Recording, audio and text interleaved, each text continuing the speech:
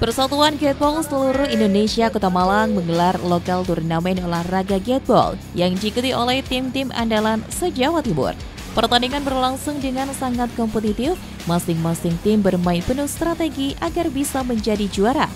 Bertemu di lapangan bola outdoor Stadion Gajayana Kota Malang, 18 tim terbaik Gateball Jawa Timur bertanding dalam memperebutkan juara turnamen lokal. Meski bersifat fun dan kekeluargaan, aroma persaingan antar tim peserta terasa kental di atas lapangan.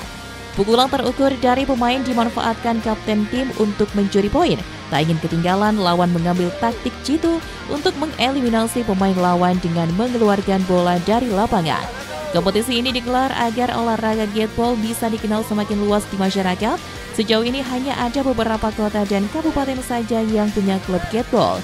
Dengan semakin dikenal, maka industri olahraga gateball semakin bertumbuh. Imbasnya adalah perkembangan olahraga gateball yang lebih maju dan kompetitif adalah silaturahmi dan sosialisasi olahraga gateball uh, Jawa Timur ya. uh, yang mana tujuannya adalah mengenalkan olahraga gateball di Kota Malang karena olahraga gateball ini adalah olahraga yang relatif masih baru ya. sedangkan di Kota Malang sendiri uh, baru ada 8 klub yang apa, tergabung di dalam Kota Malang memperkenalkan olahraga gateball dengan mengadakan turnamen lokal turnamen dalam hal ini adalah dari uh, Kabupaten Malang, kemudian Kota Batu, Kota Malang sendiri, kemudian ada dari uh, Kabupaten Pasuruan, Kota Pasuruan, Kabupaten Sidoarjo, kemudian juga uh, Kabupaten Lumajang, Kabupaten Jember, terus kemudian dan diikuti oleh klub-klub uh, Kota Malang.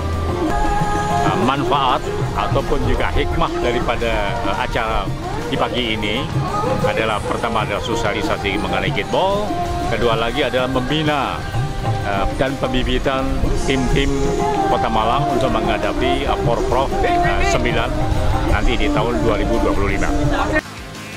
Selain sebagai ajang olahraga, kompetisi lokal kickball juga sebagai tolak ukur permainan atlet Kota Malang agar semakin berkembang, khususnya jelang Porprov 2025.